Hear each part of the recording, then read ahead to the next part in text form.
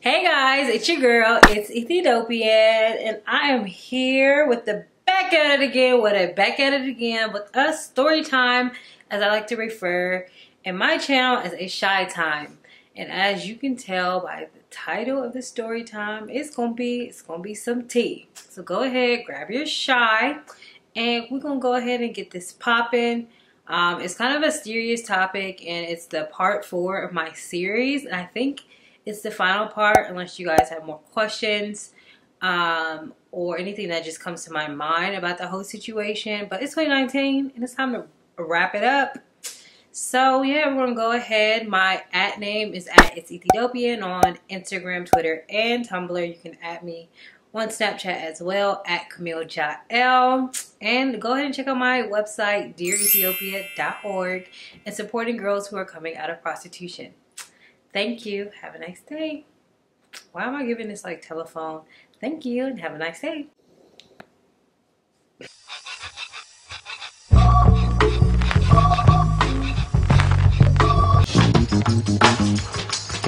Now there she goes again, the dopest Ethiopian, and now the world around me think moving in slow motion whenever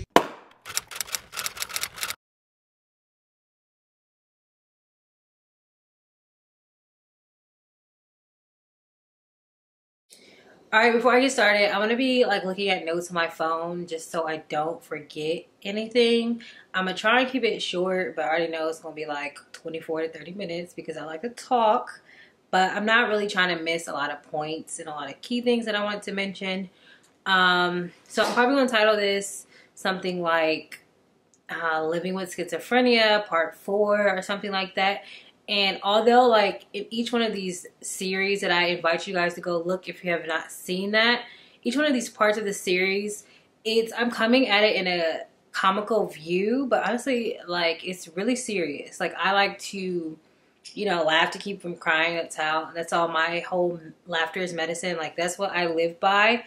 But honestly, because I'm not in a situation right now, I can look back and like laugh at it. But honestly, this is a serious, serious topic. Mental health it should be taken serious. This video or any of my other videos on my channel is meant to bash anyone with mental health disorders or anything like that. But know that your mental health not only affects you, but affects the people around you.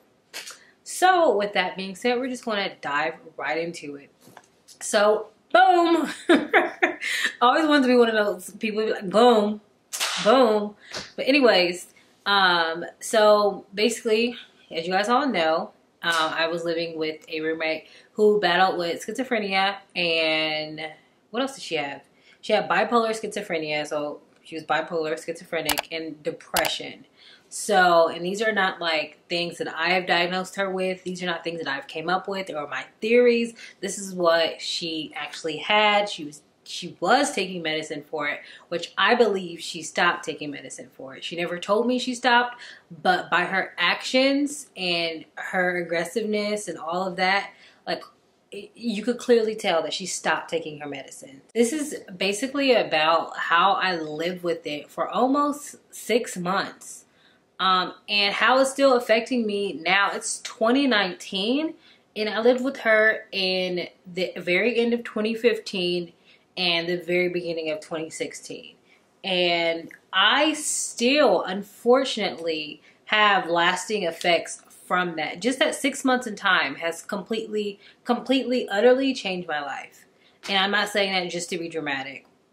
But to start off with, um, the first thing, the biggest thing that I would say immediately that still um, I look at today is looking at people different, especially those that were in my circle.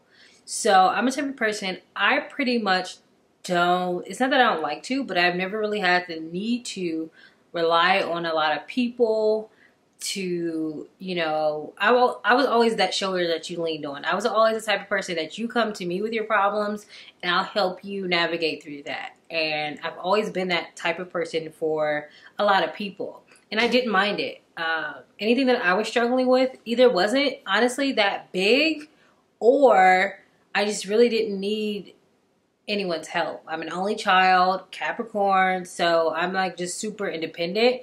And I never really had a problem with that. if I did need to lean on someone, I would expect for those people who've leaned on me or or or those people who I've done stuff for to be there, you know, when I was going through this. And unfortunately, that was not the case. That was not the case at all. I don't know what happened, but that's when I realized, I was honestly just starting to grow up. I was what, 21, 22. Uh, I think I was getting ready to turn 22 and I was realizing like people are fake. People just want to use you for your gifts, for your talent, for your time, for your resources. Like they just want to gain from you and just pull and suck from you. And when it's your time, when you need something from them, when they can provide something for you to help you in your livelihood, they're not going to be as quick to drop everything. And that's what I was doing for a lot of people. If someone was in like dire distress, which that may or not be the case, but they might have communicated that to me in that type of way, I would drop everything. As long as it's not going to harm me detrimentally, then I will provide whatever that is for you. For example, um, there are times, and I still do this, like I'll skip a meal to save money and send it to someone else who cannot provide for themselves. They do not have the means nor they, they basically just have no way to provide that for themselves just so I can offset that balance. Like I can say that with confidence now. Like it's okay if I skip a meal or two or whatever once a week, once a month, however, if that meal can benefit someone else better in the long run, that's kind of always been my mentality.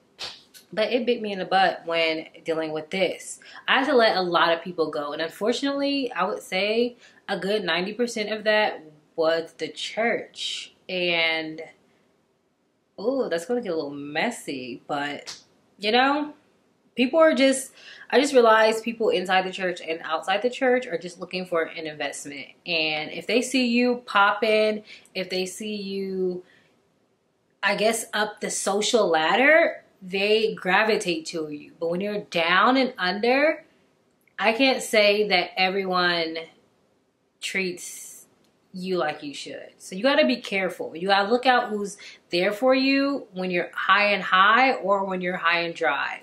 Look at me coming up with a quote. That was good.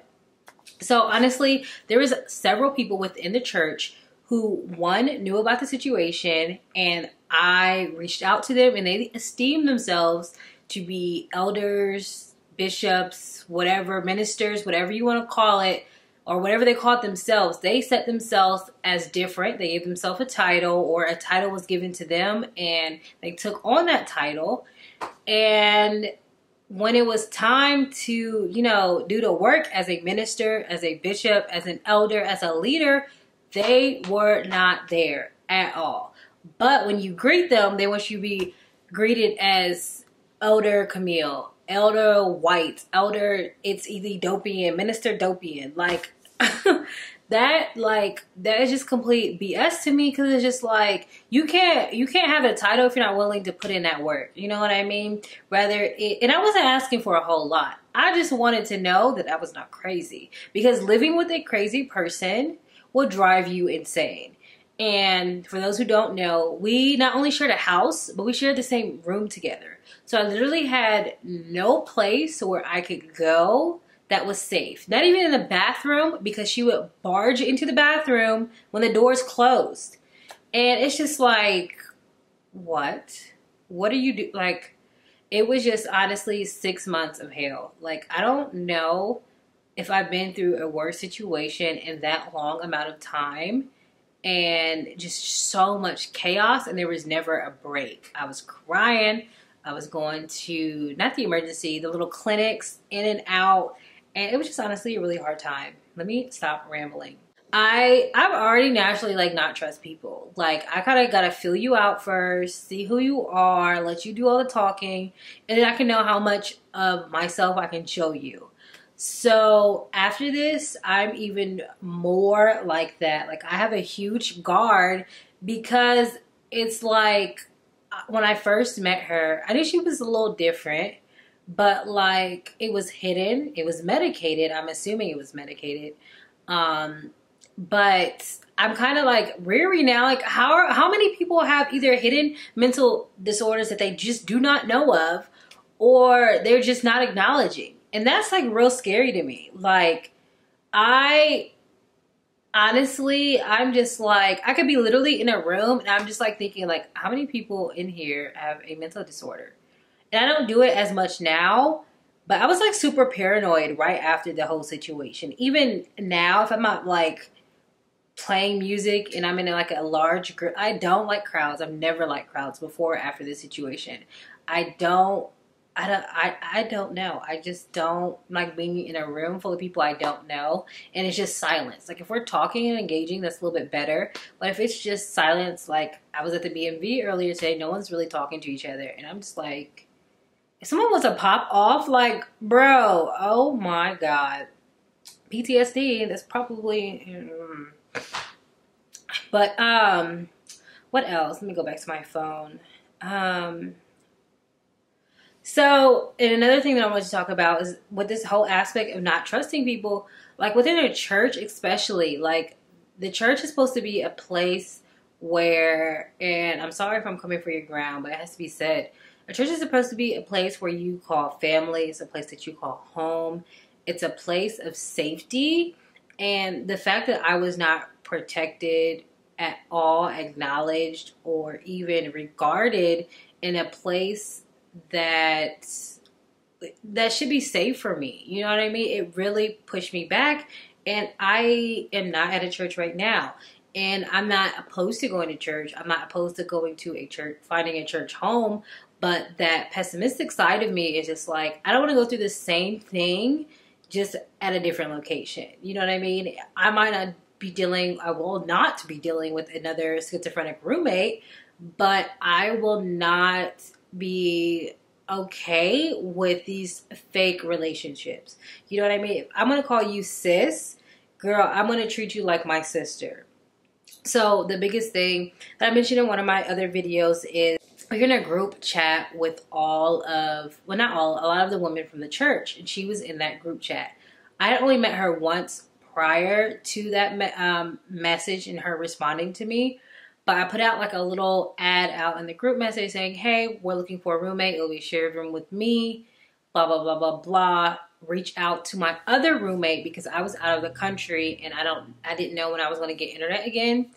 Um, reach out to so and so and contact her if you guys want to, if you're interested and you guys can get the lease signed, whatever.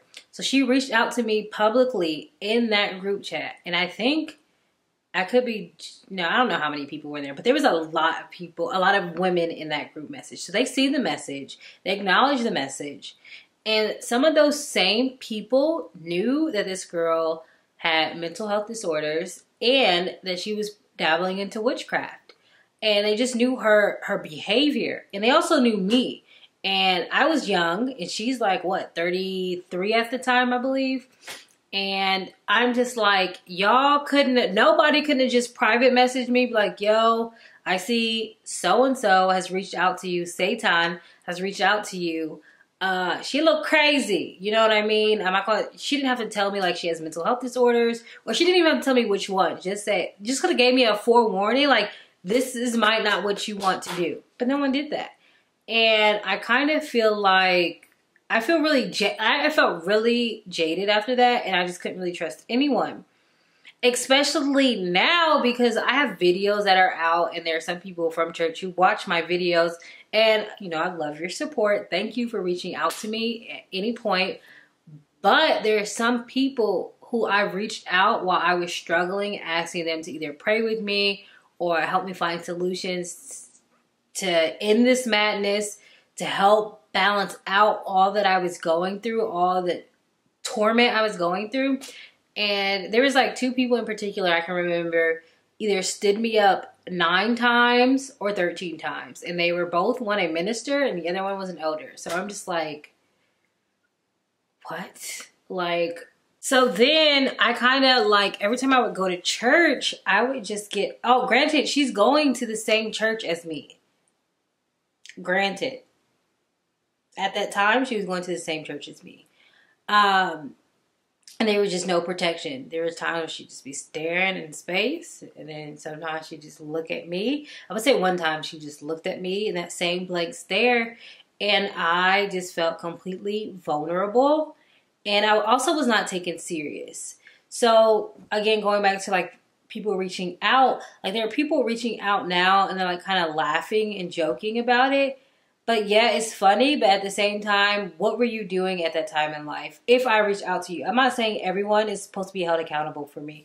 That's not the tea at all. That's not what I'm trying to say. Um, but those individuals who have and who have reached out to me, I'm just like, dude, I was a whole wreck. I legitimately thought I was gonna die. My whole paranoid thing was that I was just gonna have a heart attack and just pass away. Uh, I'm not gonna get emotional. My I was in school. It was my graduating year. I was taking like 18 credit hours.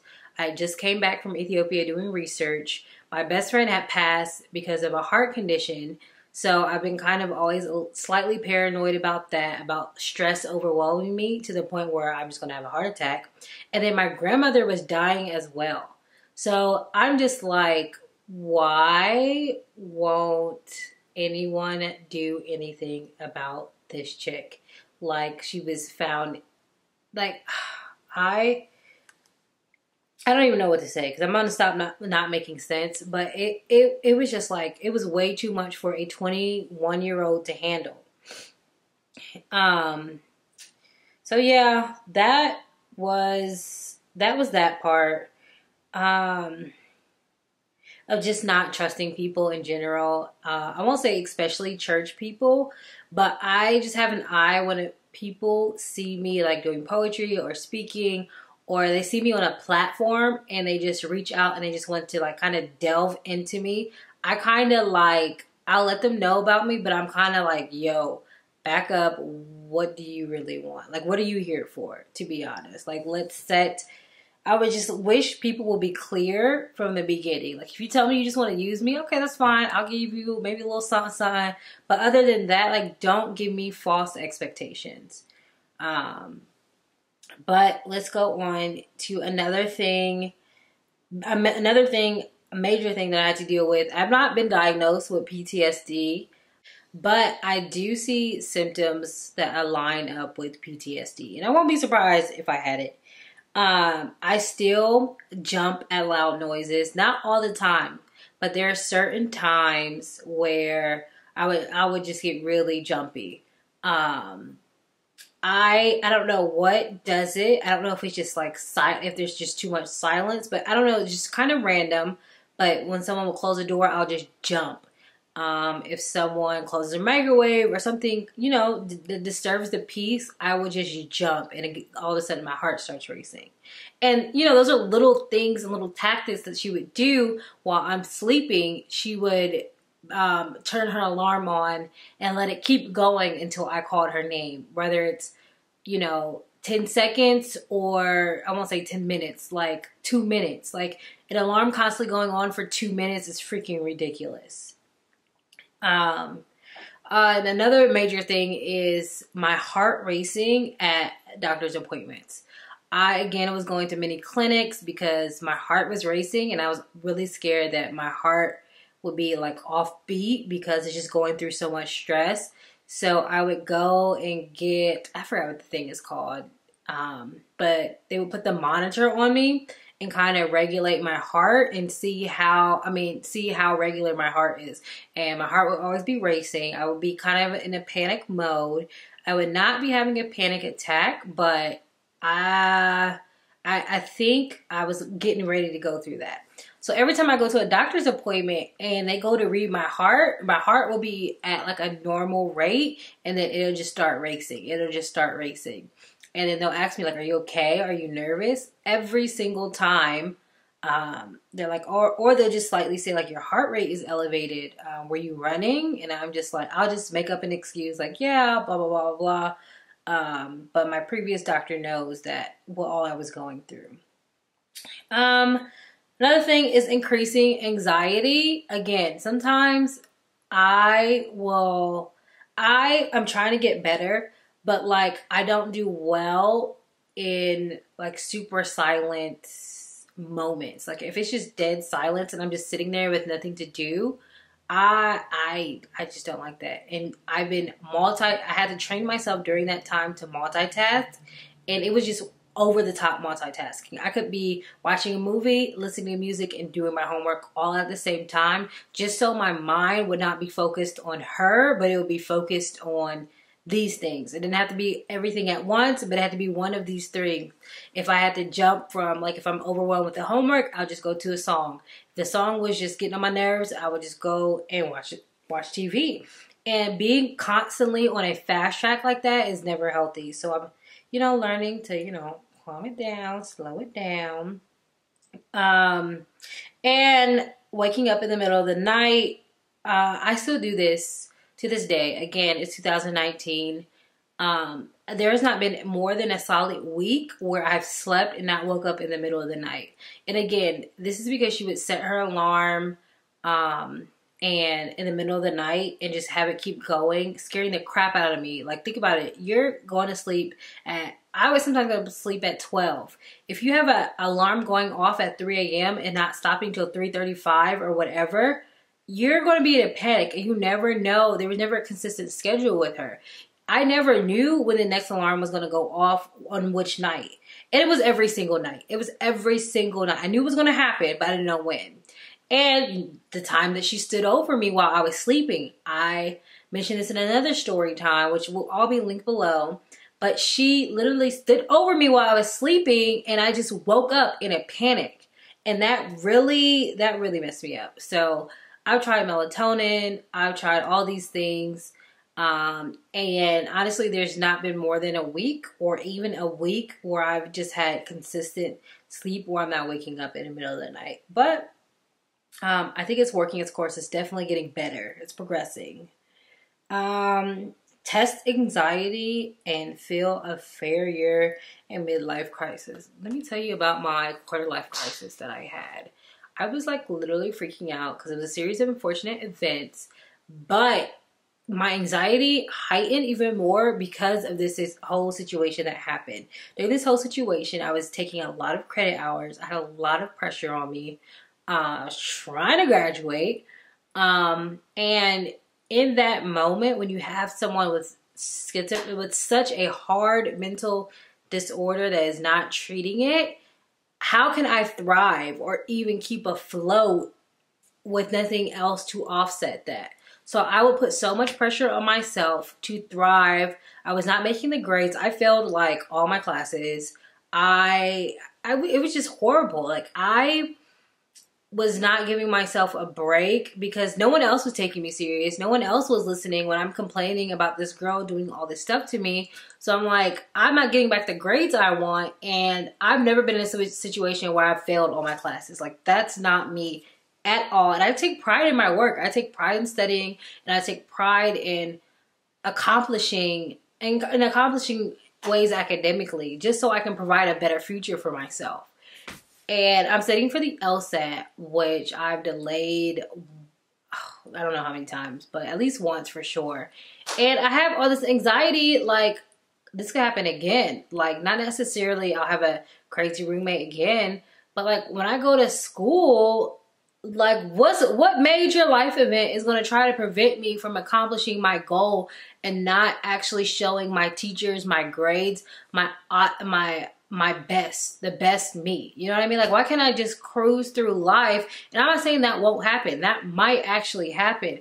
But i do have a fear and worry that something's going to happen either on test day or during my years while i'm in law school. So yeah. Um, after living with someone with schizophrenia, those are the major things that I had a hard time dealing with that I can think of. So I think this video is over. We're going to wrap it up because my memory card is getting real full and it's got a little countdown, but it's your girl. ItsEthiDOPEian. If you have any questions, comments, or anything, just leave in the comment section below. And don't forget to at my handle at It's Ethiopian. See you soon. Oh, I also did the rice water challenge, which will be coming up. Today is February 9th. I did today 10 day rice water challenge, so that will be edited tomorrow, actually. See you there.